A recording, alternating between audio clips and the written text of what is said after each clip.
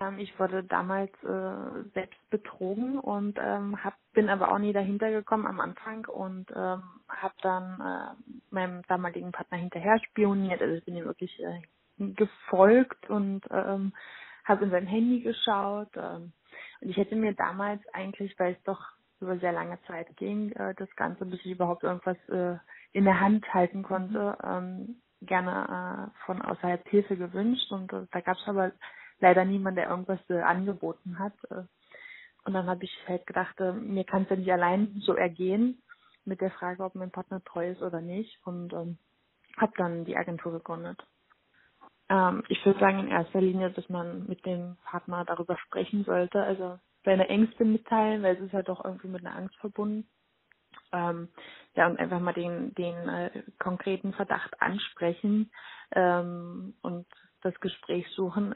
Entweder man hat das Gefühl, dass der Partner da wirklich ehrlich ist und äh, entweder das zugibt oder eben sagt, nein, das ist nicht an dem, was du, was du denkst. Äh, dann muss man halt schauen, ob man äh, ob man selbst äh, das Gefühl hat, dass der Partner lügt oder nicht. Und äh, wenn man halt das Gefühl haben sollte, dass, dass er da doch nicht so ehrlich ist, dann kann man halt doch noch weitergehen und vielleicht, äh, um das anders rauszubekommen.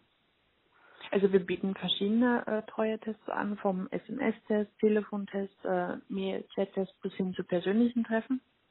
Mhm. Ähm, wir bieten auch äh, Laboruntersuchungen an. Das empfiehlt sich aber eher, wenn man ein Mann ist und bei der Frau testen lassen möchte. Ähm, ja, genau. Also es sind nicht nur, uns fragen nicht nur äh, Frauen an, sondern auch äh, Männer. Ja, also ich würde zwar sagen, das sind, mehr Frauen, die, die nach einem Test fragen, würde sagen 80 Prozent und 20 Prozent fragen aber auch Männer mhm. die Tests an. Ja, also es gibt, äh, gibt Anfragen, wie zum Beispiel, wenn, wenn jetzt jemand möchte, äh, dass als Beweis wirklich das, das Letzte erbracht wird, also quasi äh, Geschlechtsverkehr, also das machen wir überhaupt nicht sowas. Mhm. Dann auch, wenn Kunden zu sehr versteift sind äh, auf eine bestimmte Vorgehensweise und ich da das Gefühl habe, dass wir überhaupt keinen Handlungsspielraum mehr haben in Wirklichkeit, sondern dass es quasi wirklich nach der Geschichte äh, ganz konkret, so wie der Kunde sich das vorstellt, ablaufen soll. Und das geht aber manchmal nicht, weil wir sind auch nur Menschen, alle und die Testperson ja auch. Ähm, da kann man das ja gar nicht vorher äh, vorhersehen, ob das wirklich so klappt. Sowas lehne ich dann ab. Oder auch, ähm, gab mal eine Dame, die hat gefragt, ob eine Testerin ihren Mann nackt in der Sauna ansprechen kann. Also ich bin gerade in der Sauna, das ist schon sehr intim. Also ich weiß nicht, wer da irgendjemand anspricht. Könntest du das vielleicht nur kurz zusammenfassen?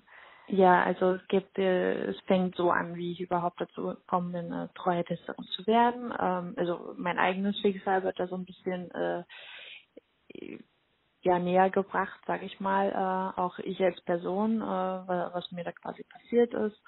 Ähm, dann kommen ganz viele Geschichten, ähm, quasi, wo ich aus dem Nähkästchen plaudere.